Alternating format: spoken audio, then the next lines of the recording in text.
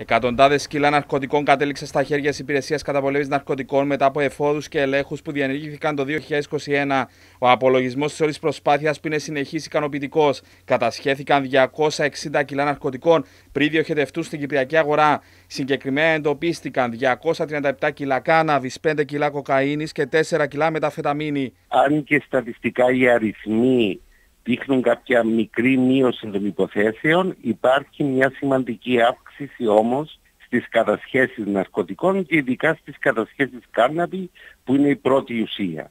Ε, όπως επίσης υπάρχει μια αύξηση στην κοκαίνη. Μέχρι τα τέλη Νοεμβρίου διερευνήθηκαν περισσότερες από 800 υποθέσεις, αριθμός προκαλεί ανησυχίες και προβληματισμό. Σημαντικό είναι να αναφέρουμε ότι ε, υπάρχει αύξηση στις σημαντικές υποθέσεις που ήταν και αυτός στόχος της ΙΚΑ που οδηγήθηκαν εγκληματικές μέλη εγκληματικών ομάδων ενώπιον της δικαιοσύνης. Δίνουμε ιδιαίτερη έμφαση στους ελέγχους και στη συνεργασία με άλλες υπηρεσίες όπως την αρχή τελωνίων, τα ταχυδρομεία και, και ιδιωτικές εταιρείες έτσι ώστε να προλαμβάνουμε την εισαγωγή ναρκωτικών στην Κυπριακή Δημοκρατία. Την ίδια ώρα η ΚΑΝ συνεχίζει να έχει ανοιχτή γραμμή επικοινωνίας με ξένες υπηρεσίες για την ανταλλαγή πληροφοριών.